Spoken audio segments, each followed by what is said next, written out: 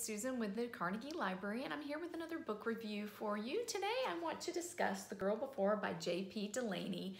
This is quite the exciting thriller. J.P. Delaney always writes some really um, good books that keep you turning the pages to try to find out what happens in the end.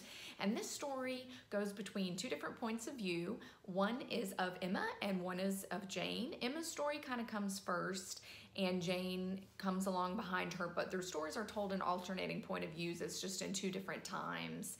And this is a story about a house at 1 Folgate Street. And this house has been built by a architect who really likes the minimalist style. So this house is very strange. And so when each of the women go to consider renting it, they find out there's a lot of different rules and regulations and it's a long lease that they have to sign and they have to agree to do all this stuff.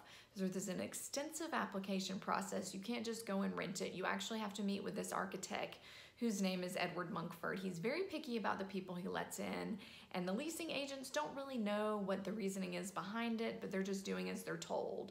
So it's interesting to see how these two different women react to one Folgate place, and you start wondering if there's something really going on with this architect. He seems a little strange. He likes things a different way. So Emma and Jane start finding out things about the house and about Edward, and it gets really creepy because this house is actually also a smart house, so it kind of keeps track of your movements, and that starts freaking both of the women out. So I don't want to say much more because we'll get into some of the twists that come about, but this book was really, really good. I highly recommend it. The Girl Before.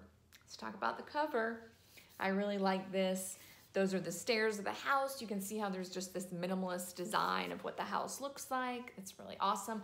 I actually listened to this one as an audiobook, which I really enjoyed. Sometimes you just want to listen to an audiobook because you can do audiobooks while you're cleaning or doing other things. So I definitely enjoy listening to an audiobook every once in a while. So that's how I read this book. But we will have the physical copy here at the Carnegie for you on our special shelf. So come in, check it out. Let us know what you think about it.